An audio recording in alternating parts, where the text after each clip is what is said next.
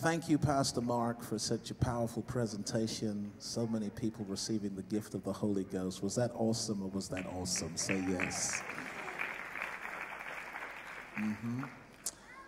I want you to help me. I'm going to read from a very controversial book in the Bible. I know for some people there are no controversial books in the Bible, but there really is. There is no book that has been as disputed and debated as the book of the Oh, my dear.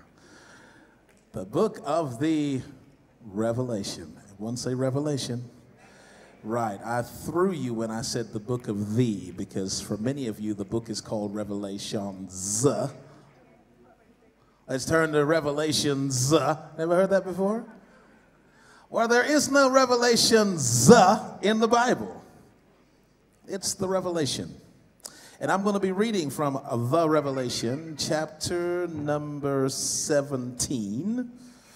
Revelation 17, I'm going to read uh, verses 12 through 14. And if you have a Bible, a phone, an iPad, or any other electronic device that has scripture on it, then you might want to read with me just in case I'm misreading. Hmm? Cool? All right. and this won't take long. Oh no. How long is a piece of string? Hmm?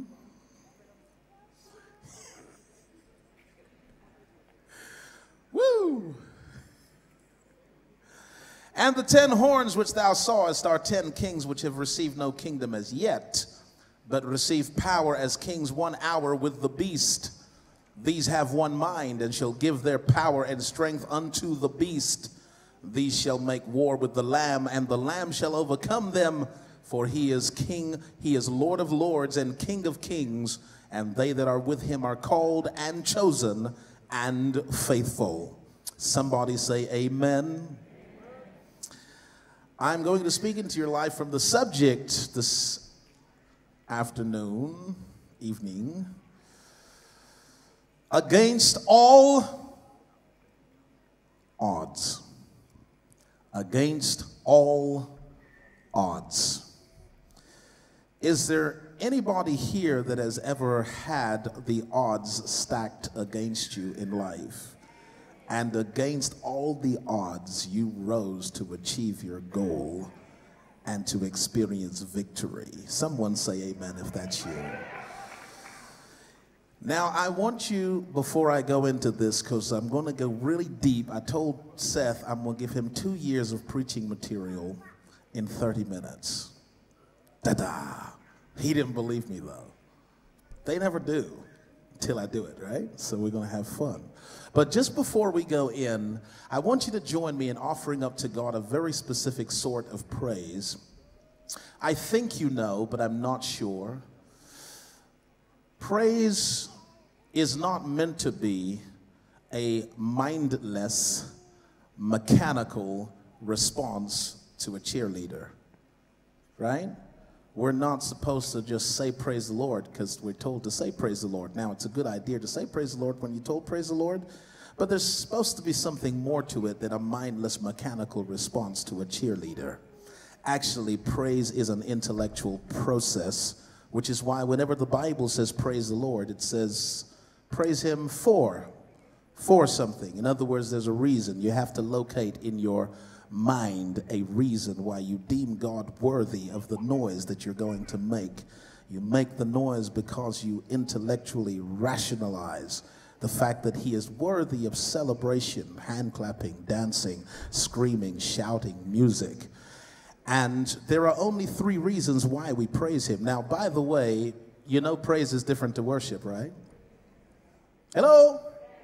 Praise is different to worship, yeah, because you actually worship Him because he is God. He is worthy. You worship him whether he is good to you or not, whether you experience his goodness or not. We worship him, all right? But we praise him in response to something he has done. And all that God has done can be split into three categories. Someone say three categories. So we praise him for the past, what he has done in the past. Yes? That's when you look back over your life, you think things over, and you realize that if it hadn't been God who was on your side, you wouldn't be at Bethel Convention Center today to say anything whatsoever. And you, you get grateful for what God has been to you in the past. Is there anybody here who's grateful for God in your past? You can see God all up in your past. Would you give him a praise for that right now? Go ahead and praise Him for your past. All the things He brought you through, everything He brought you over, every circumstance He brought you out of, He is worthy of that praise. And then God is at work in your present. That is what happened for Mary and Martha. When Lazarus died, they said, Lord, if you would have been here past, my brother would not have died. Jesus said, He will live again. And they said, we know he shall live in the resurrection of the last day. Future, they had a God in their past, they had a God in their future, but they didn't have a God in their present because sometimes the God in your present is not as obvious as is the God in your future, as is the God in your past. Because we have the tendency to look back over our lives and see God at moments that when we were in those moments, we could not see God at work. So we have to understand that even if you cannot see God at work in your life today, He is working behind the scenes, moving in mysterious ways, setting you up for your next miracle. So even if right now is your darkest hour, I dare you to praise God in the darkness for everything that He is doing right now. Could you give Him a praise for that? Yeah, yeah, yeah. All right.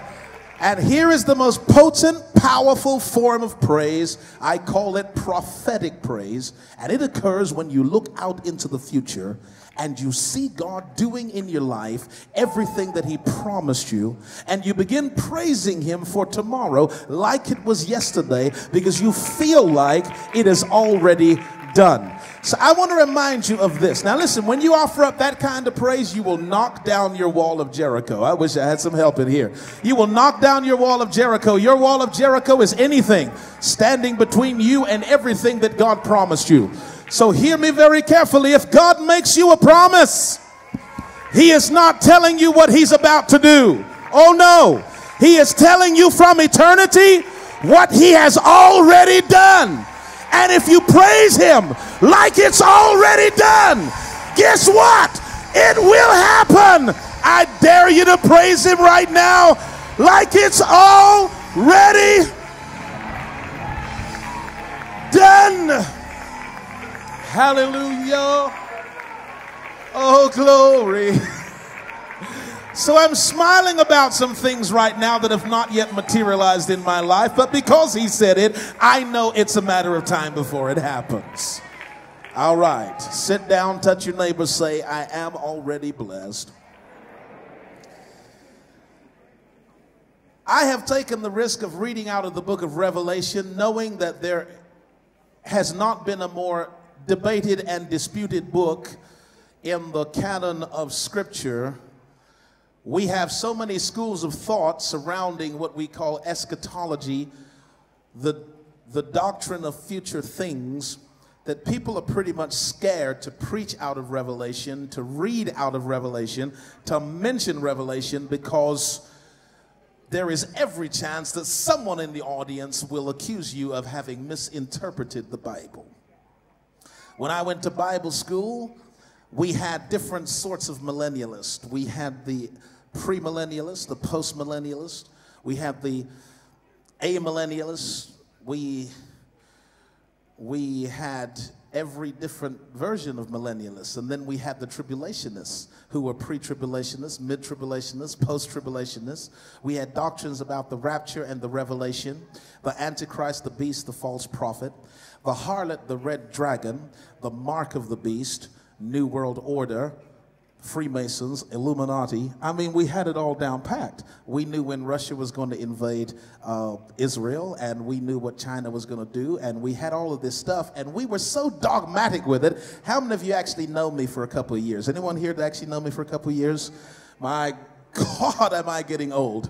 Years ago, there wasn't anywhere I could stand and say that. Mummy's on the. Mummy knows what I'm talking about. All right, so so we got so dogmatic about it that we boxed ourselves in, and we couldn't have fellowship with people who saw things a different way.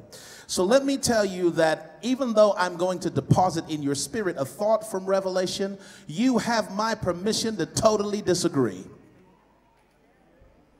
You can even send me a letter, drop me an email, Facebook me, Twitter me, and say, I totally disagree.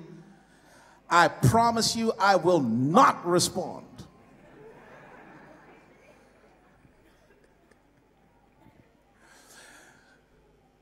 But the book of the Revelation is not the book of Revelations as in plural, but it is the book of the Revelation as in singular. And revelation does not mean a mushroom cloud, a mindless nuclear war. It is from a Greek word, apocalypsis, which means to uncover, to unveil, to make known, to make clear, to manifest, to appear.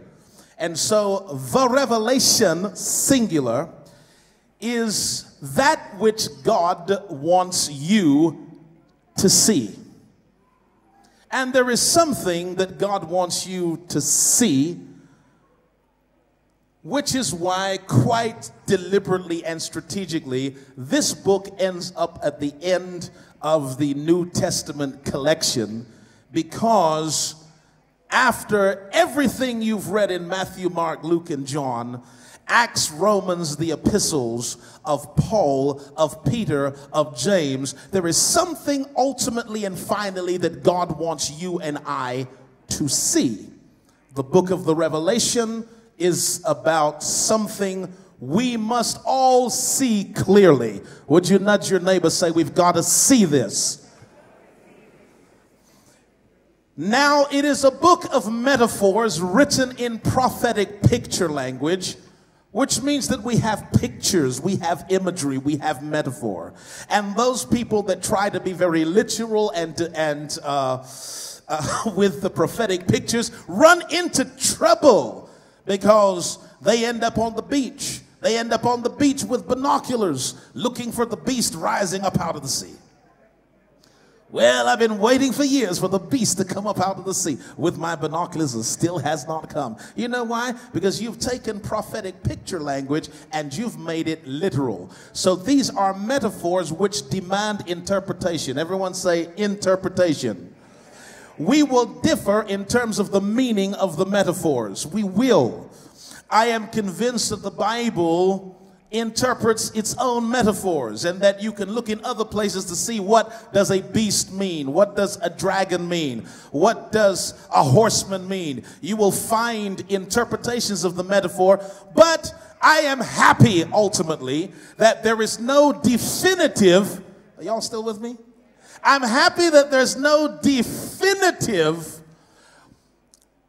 explanation of the metaphors in revelation I'm happy about that because I can take the metaphors and make them apply to circumstances that I am going through in my life right now. And because there's no definitive proof of the meaning of the metaphors, then in every generations Christians have drawn comfort from the book of Revelation. I mean before there was a computer, before there was a monetary system that relied on marks and numbers as opposed to cash and coins. Christians drew strength from revelation because you could always interpret the metaphor in the way that was most obvious to you. So that throughout the Roman the Roman uh, era, as Christians were persecuted, they went to the book and they were encouraged from Revelation because even in their generation, they could see something in the book. In fact, I'm convinced that if you see this, you can survive any storm. I wish I had some help in here. If you see what I'm going to show you, what I'm going to unveil tonight, you will be able to survive any storm. You will survive a season of struggle, and you will come out of it with an extraordinary attitude and a mighty victory just because you see something that other people cannot see. What is the difference between those who sink and those who swim? Hmm? What is the difference between those who survive and those who don't in the middle of a trial it is ultimately what they see. So God says, I want you to see something. And in 10 minutes, I'm going to show you what it is. Would that be all right? Thank you. There is a clue in the book as to what it is God wants you to see. For Revelation is a book of sevens. Everyone say seven. There are seven stars in the right hand of him who stands in the midst of seven golden candlesticks. There are seven churches. And from thence, a seal, a book sealed with seven seals. From the seals, there are seven trumpets. There are seven bowls of wrath. There are seven things which shall be no more, as in no more crying, no more death, no more sea. You count them up, there are seven. This is a book of seven. There are seven spirits before the throne. It's a book of sevens, and seven is God's number signifying a finished work. Everyone say a finished work. It is God's number that signifies the conclusion of a matter the end of a thing, the finality.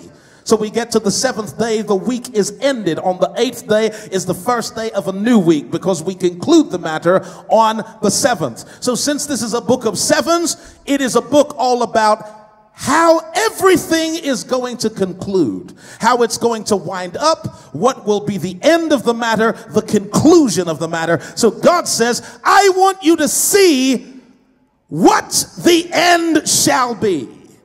I want you to see the conclusion of the matter. But there's something about the conclusion that we got to see. You there? The very first words are this the revelation of Jesus Christ. Everyone say of Jesus Christ. Which means this book is supposed to show us Jesus, supposed to show us Jesus more than anything else. Sadly, we typically come out of the book with a clearer vision of the Antichrist the beast, the false prophet, the harlot, and everything else. But actually, the book is not about that. The book is about Jesus Christ. And there is a dimension in which he must be seen. And when you see him in that dimension, it will give you the strength to survive your season of struggle. Somebody say, Praise the Lord. So I'm going to show it to you now as follows. In Revelation 17, we have a beast. And you know when the Bible describes calls it a beast? It is a reptilious creature. Something out of a movie. But this beast, this reptile, has seven heads. I mean, if it had one head, it's scary enough. But this thing has seven heads, probably quite independent, all moving, talking to each other. Can you imagine that? And one of the heads has ten horns. Ten horns.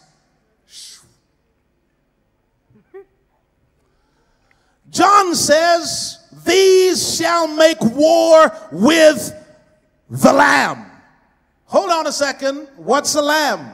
Lamb is the baby sheep right? And a sheep is a totally defenseless creature, right? Sheep do not have horns to butt you with. They don't have fangs to bite you with. They don't have claws to rip you with. Sheep are totally defenseless creatures. They absolutely rely on a shepherd.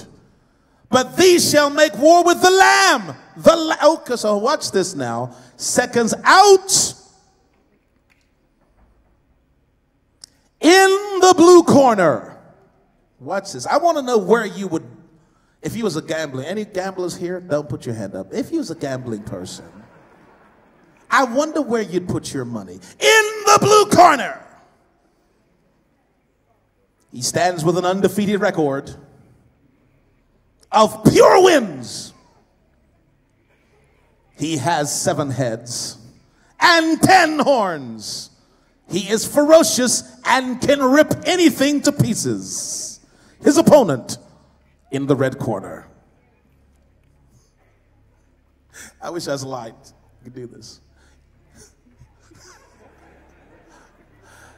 the lamb. the little bouncy, soft. How do you feel when you see a lamb? When you see a lamb, you feel guilty for eating mutton, curry goat. You guilt. The lamb is so. Now, some of you just feel hungry. You see a lamb, but you see a lamb. And the lamb is like a little pet. You want to take it home, and so you want to cuddle it. You want to protect it. But in the red corner, we have the lamb.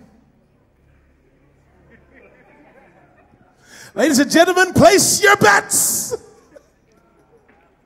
You know what the world would bet on? You know what most people would bet on? They would put absolutely everything on the beast with seven heads and ten horns, yes? Because there's absolutely no way, absolutely no way that a little lamb has any chance of defeating a seven headed reptilious beast with ten horns. The Bible says, These shall make war with the Lamb. And then I get so excited about this next bit. It says, And the Lamb shall overcome them because he is King of kings and Lord of lords. Now you're looking at a picture, you're looking at a metaphor, but it's a powerful metaphor because it says, against all the odds the Lamb will prevail. And believe it or not, that is the entire story of the whole Bible. From Genesis to Revelation, it is the story of little people doing big things by the help of God. It is the story of little people overcoming big obstacles by the help of God. It is the story of little people replacing big people because God said it's time to move. I don't know how you think about Abraham, Isaac, and Jacob, but the truth is they were nomads. What? Nomads. You wouldn't have looked at them as being powerful, significant, or important. I don't know how you think about Joseph. But the truth is, he was a convicted criminal in prison for a heinous crime against an officer of Pharaoh's wife. He had no chance of ever living his dream. I stopped by to talk to someone who feels just like that. That I am in such a mess. I have no chance of ever becoming what they say I can be. It's too late, Bishop. But the whole story is the beast versus the lamb. Joseph is in prison, and in one day, oh God, I love this 24 hours he is elevated from the pit to the palace against all the odds. I stopped by to tell you that against all the odds, Moses led Israel out of Egypt. And if you ever been to Egypt and seen the might of the pyramids and seen the size of the Sphinx and seen the majesty of the ancient Egyptian empire, you could understand that a group of slaves never had a chance of humbling a pharaoh. But because ours is the story of against all odds, those little slaves brought an empire to its knees. David versus Goliath is against all the odds. Esther versus Haman and Ahasuerus is against the odds. Nehemiah rebuilding an outlawed city against the law with funding and resources from the law was against the odds. Job surviving the loss of everything and his health that was against the odds. Daniel surviving the lion's den, that was against the odds. Jesus rising from the dead, that was against the odds. And because Elijah knew that God loves it when the odds are stacked against him, Elijah said to the false prophets on the mountain of Baal, Soak the sacrifice with water. Because my God loves it when the odds are stacked against him. Now, if my whole Bible is an against the odds story.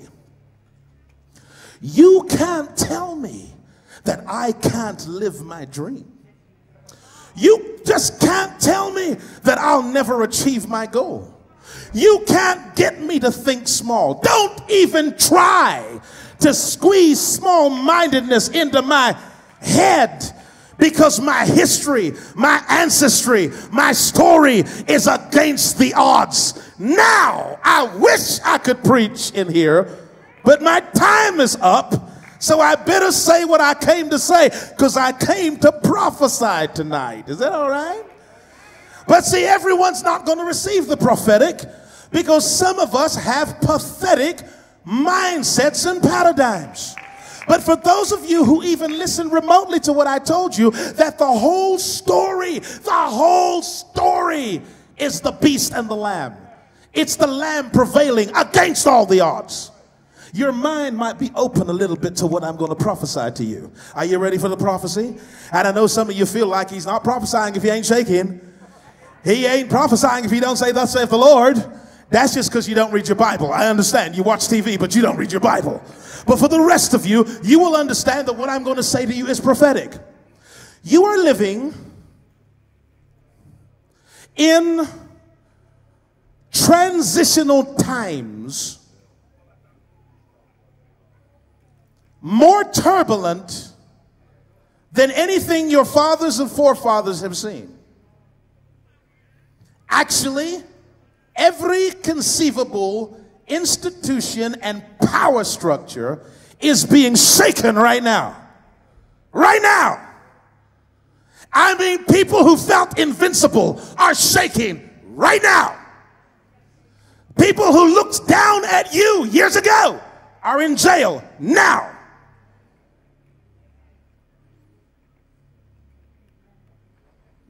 Politically, the world is shaking. No office is safe. The likelihood of a Barack Obama becoming president of the United States 10 years ago really didn't exist because he's a very unlikely candidate. Barack. I mean, you got Johnson, you got Lyndon, you got you know, Reagan, you got Clinton, Barack, Hussein, Obama. Because everything's shaking, it's different. In the corporate world, everything's shaking. No one's job is secure. At the highest level, the chairman, the CEO, everything shaking in every sector of industry. Everything shaking. Politically, economically, every currency in the industrialized world is fighting for its very existence.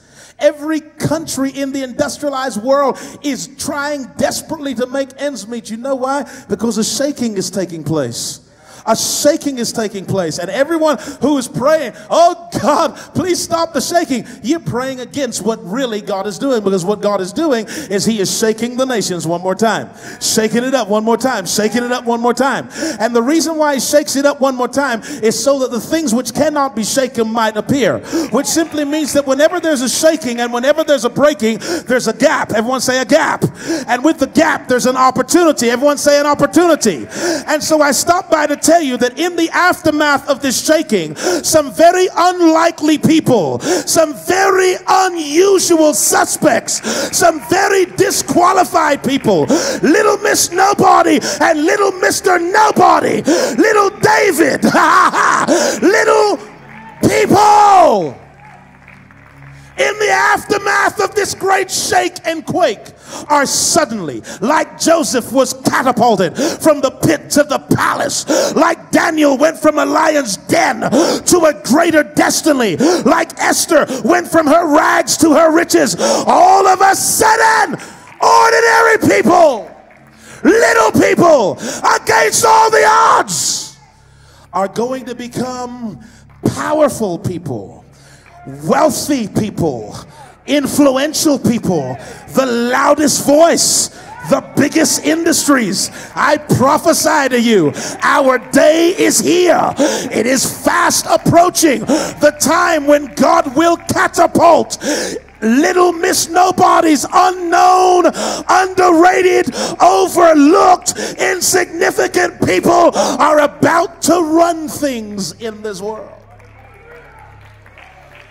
Now, you don't have to agree with me. I'm just telling you that from Genesis to Revelation, that is the pattern.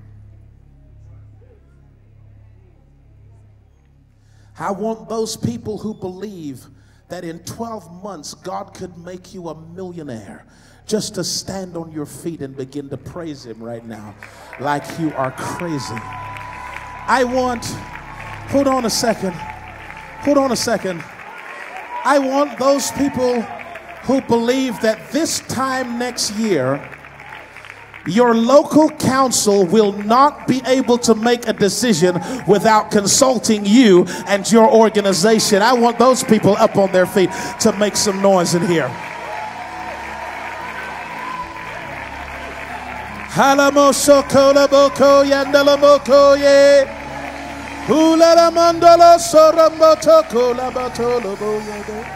You know what?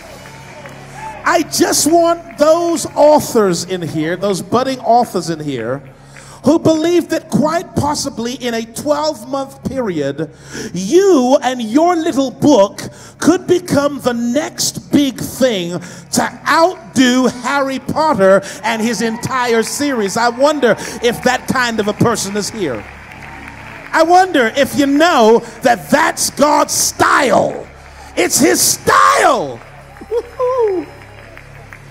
Oh Lord, oh Lord, oh Lord. It used to take years and years to build a great church, but there's a preacher in here somewhere that is believing that somewhere in the next 12 months, you're going to get that church started. It's going to be on the map. It's going to be growing. You're going to have property and you're going to have people. I just want you to help me to praise him a little bit right now. I tell you what, I pledge my allegiance to the Lamb of God against all the odds. We are going to prevail. We are going to win. We're going to run things against all the odds. I stand by the Lamb. I stick with the Lamb. I stand with Jesus Christ. I don't care how big their systems are.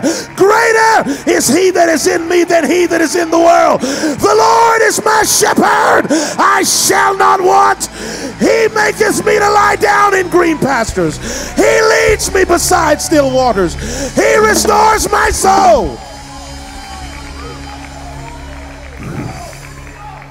He leads me in the paths of righteousness for his name's sake.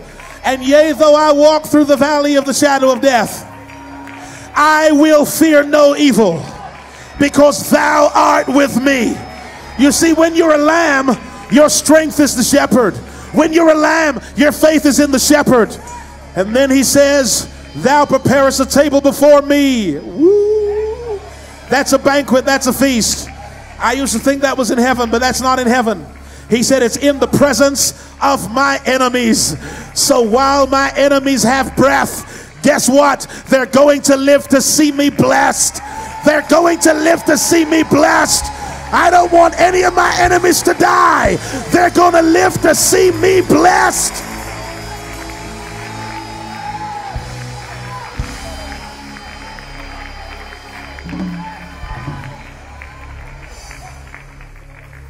Thou anointest my head with oil. That is my authorization to operate in a God given office. That is my authority, my right, and my ability to do what God called me to do. Thou anointest my head with oil, my cup runneth over. You know what that is? That's not enough, that's more than enough. God gives me more than enough. God don't give me enough money. Give me more than enough. Don't give me enough power. Give me more than enough. Now, listen, you know what's happening here? I did not call for an offering tonight. The Holy Spirit called for it. But He's calling, please leave the baskets to the side. He is calling for people to pledge your allegiance to the Lamb of God. I'm in His corner. They that are with Him are called and chosen and faithful. I'm in the lamb's corner. And you know what it's like in a boxing match, in a fight? The entourage comes in huffing and puffing like they're getting in the ring. So sometimes the beast comes with his entourage of people who want to stare you out. But God said he would make my face harder than theirs. So I stare out, I stare out the businessman, I stare out the politician, I will stare out anything in my community, I stare out the gangster and the gunman, and I'll stare you out because you know what? With all your horns and with all your fangs, you cannot beat the Lamb of God. I pledge my allegiance to the Lamb of God. Now, here's where the psalm finishes.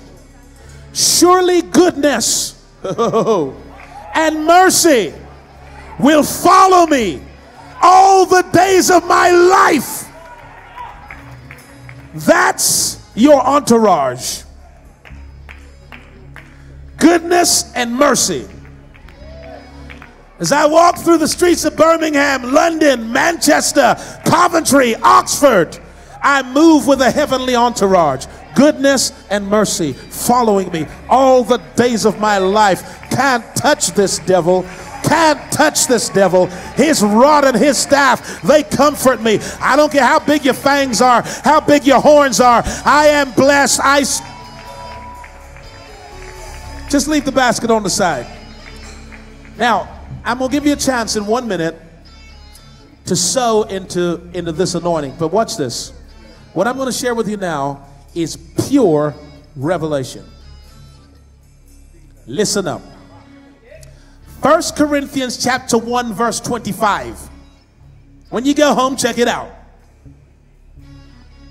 It says, For the foolishness of God is wiser than men. And the weakness of God is stronger than men. That baffled me. You know why? Because God is the omni. He is omnipotent. He is omniscient. How can he have a foolishness? How can he be weak? How could the foolishness of God exist? How could the weakness of God exist? Then I saw it. Brother Seth, receive this. And your whole team receive this. I saw it. When a covenant is cut between two parties, the two parties become one party so that the weaknesses of the one are absorbed or counteracted by the strength of the other. So you have two tribes in covenant. One is farmers, the other is fighters, warriors. Now, the farmers cannot fight, and the warriors cannot grow crops. They cut covenant so that the warrior tribe can say, We have food. And the farmer tribe can say, We can fight.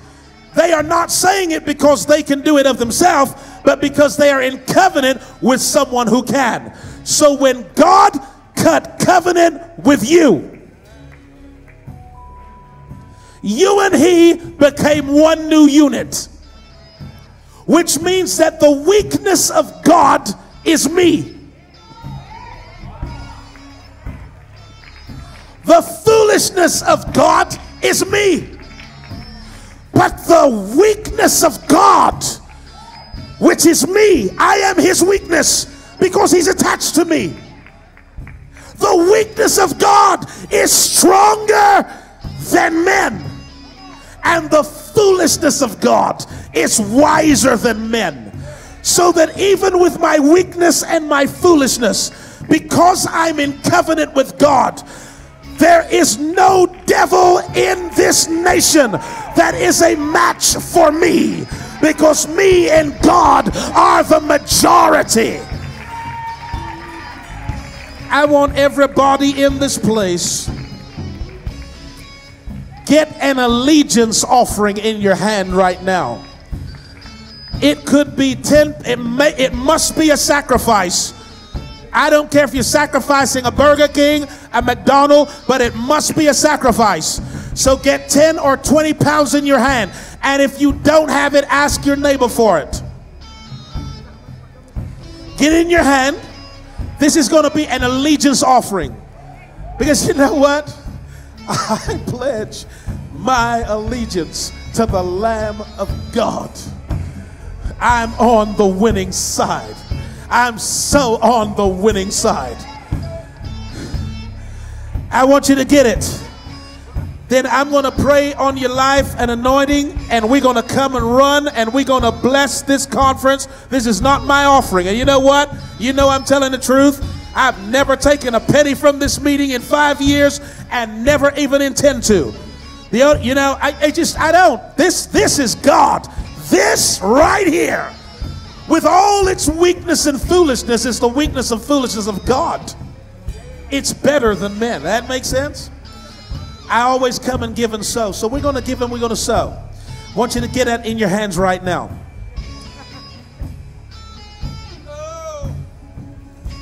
Now watch this. Come on, come on, get in your hands right now. Because this is what we're going to do. Not taking my phone. Praise God. You know what I'm saying? Hold it up high in the air. Hold it up high in the air. Get something in your hand and put it up high in the air. Hallelujah. Say, I pledge my allegiance to the Lamb of God, to Jesus Christ, the living Word, the King of Kings, the Lord of Lords. I am with Him. I am called. I am chosen. I am faithful. And against all the odds, against all the odds, we win. Against all the odds, we shall overcome. Against all the odds, truth will triumph.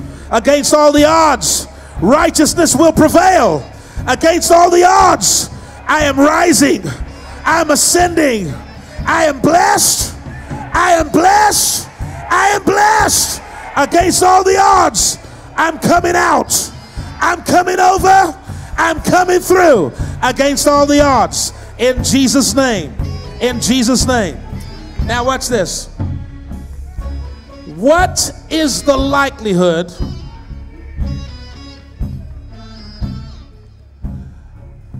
that a mother of five could run three businesses,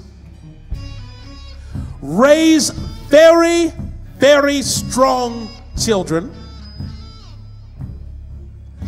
in North London where guns pop off like, you know, what was that? Oh, was just a gun. Run three businesses, tithe to her church, then command the attention of the BBC, Sky News, World Service by organizing a community march to march through the streets of her city, attracting hundreds of followers in the street to demand that the community turn against the gun people.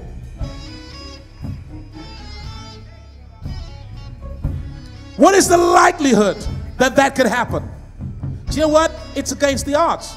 But she's here. She's right here. Hazel, come out here. I want you to come out here. I do. I need you to come out here. These are her sons right here. by herself. Now, I should tell you this all that stuff that she did, she didn't come and say, Bishop, I need some money, or I need a, an office in the church, or a department, or I need a. No, she's just a mom, concerned mom. And she said, No, enough is enough. She runs three businesses, raised great boys. Some of them are not here right now, they're too big to get in the building. she did the whole entire thing. So I didn't bring nothing with me. I just told her, you bring your stuff because we need to hear you, what you're saying. So you visit her table when you finish. That be all right? Okay. Thank you very much. You can you can go. And as for me, I didn't bring nothing with me. You know what? Because I want whatever I was going to give to you, I want you to put it in this now. But please hit me up on Facebook. Who's on Facebook? All of you are on Facebook. I know you're all on Facebook because this guy's Facebook is climbing every second, right? And I know he knows all them people as well, because everyone don't know all them people that they have on their Facebook, right? But he knows them. Hit me up on Facebook. Tell me about this message. Follow me on Twitter, Business Bishop, Wayne Malcolm on Facebook. Now, I pledge my allegiance. I tell you what, I am going to prevail over every adversity that, is, that is, comes against me because I am with the Lamb. No weapon formed against me shall prosper.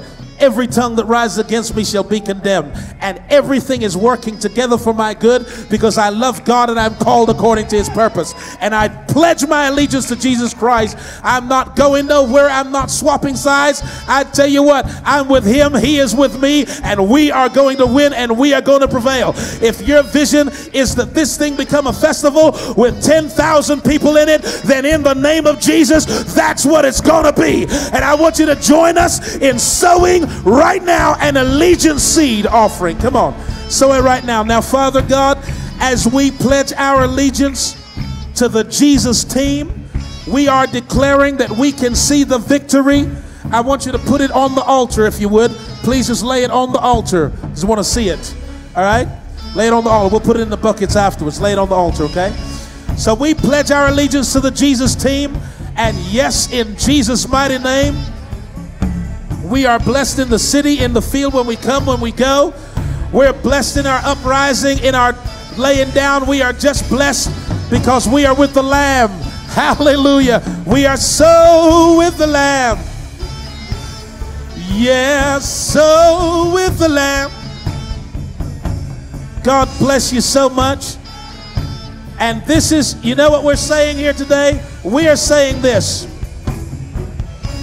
that this midnight oil is moving from an event to a movement.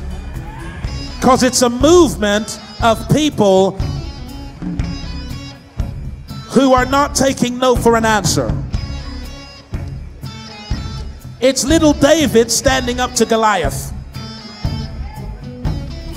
It's little Esther saying, If I perish, I perish, but I'm going to see the king.